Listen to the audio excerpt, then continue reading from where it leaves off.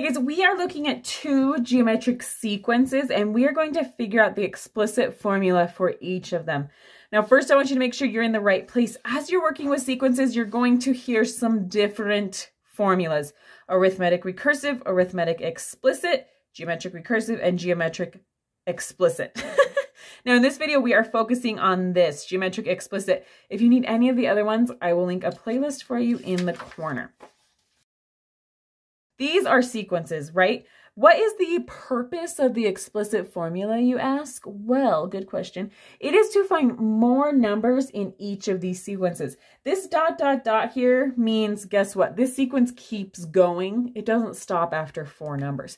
The purpose of the explicit formula is to find more numbers in this sequence easily. So, why is it called explicit? I don't know. I know, it's a little weird. All right, the first thing I'm going to do to find this formula is I want to figure out the pattern. These aren't just randomly listed numbers. There's some sort of pattern between them. So when I look at it, I notice that I am multiplying by 5 each time to get the next number. So great, now I know that. Now, before we figure out the explicit formula, I want to go over a little bit of terminology and then it falls together pretty quickly. So when you're working with these, you're going to see a lot of A's and a lot of N's.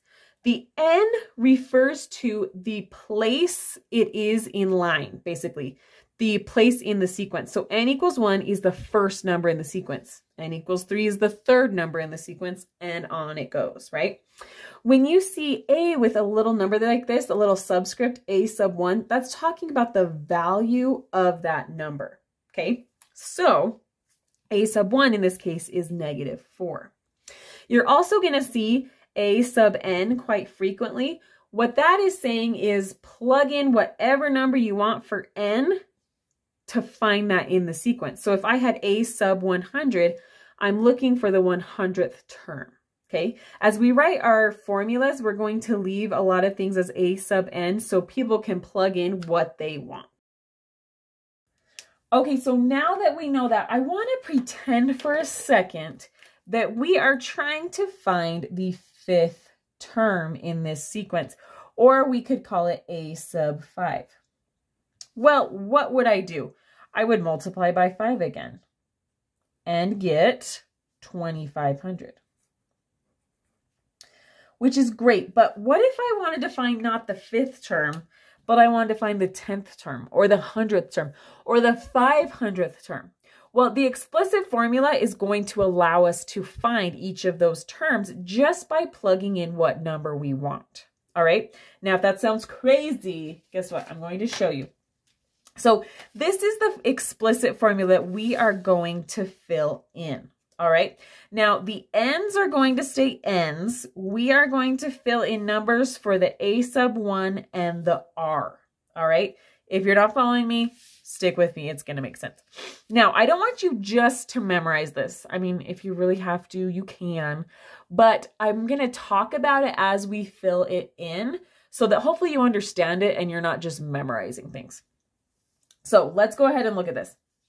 This is telling me a sub n, which is another way of saying whatever number you want to find. You plug in whatever number for n to figure out, oh, I want to know the 50th, so I plug in 50 for n. So a sub n is another way of saying whatever number you want to find.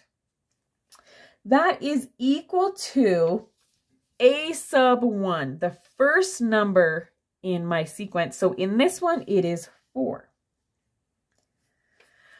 Okay, from here, we are multiplying by R. R stands for common ratio, which basically just means what are we doing to it each time? Well, we're multiplying by 5, okay? So times 5,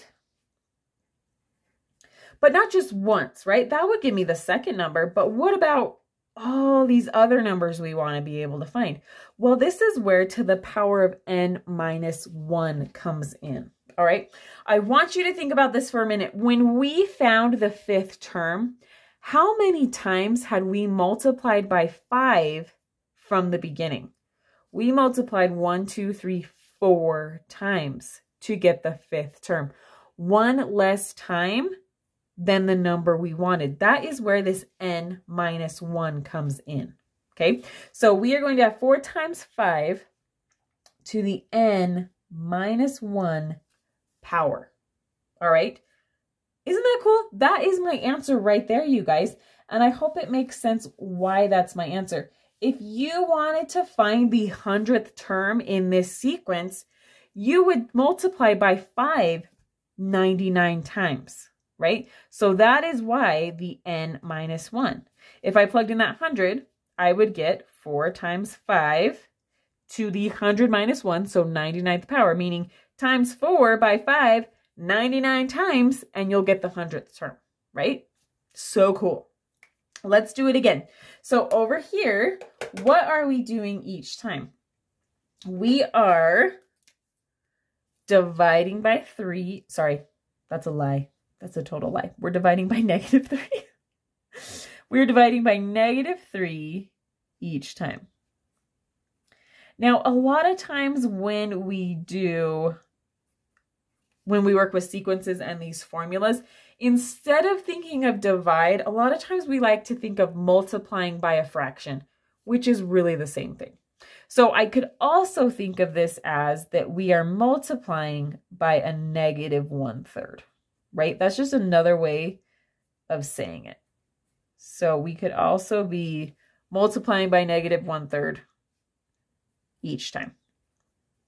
All right, so how do I apply that to my explicit formula? Well, I say whatever number you want to find, take the first number in your sequence. In this time, it is 81.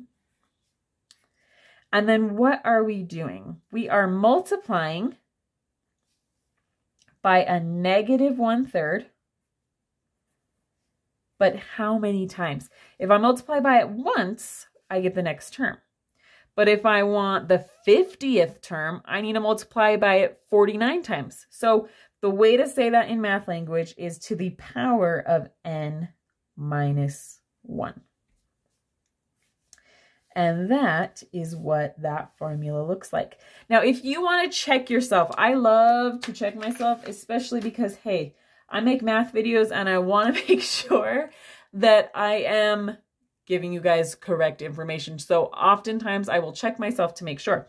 So if I were to figure out the fifth term manually, you could say, I would divide by negative 3 again, or you could say multiply by negative 1 third, and I would end up with 1 here, right? So a sub 5 in this example is 1. So let's go ahead and plug it into our explicit formula and make sure when we plug in 5 for n that we end up with 1. All right, so if I have a sub 5, I'm looking for the fifth number in the sequence where n equals 5. I believe that is equal to 81 times negative one third to the n minus 1 power. So n minus 1, in this case, we're plugging in 5 for 1, so 5 minus 1 would be 4. All right, because didn't we multiply it by it four times? One, two, three. I didn't write it the fourth time, but we did. okay, we multiplied by it four times. So if I do negative one third to the fourth power, guess what I get? I get a positive 1 over 81. Or if you wanted to do it on your calculator and get the decimal, that's totally fine. You'll end up with the same answer. So I end up with a sub 5 equals 81 times 1 over 81. And you probably remember what happens. These guys cancel and I end up with just, oh, nudging my paper. I end up with just 1. So I end up with a sub 5 equals 1. Hallelujah. So I'm feeling pretty confident that I could plug in whatever number I want for n and figure out that number in the sequence. All right, I hope this made sense. If you need some more videos, I will link that playlist for you. Thanks.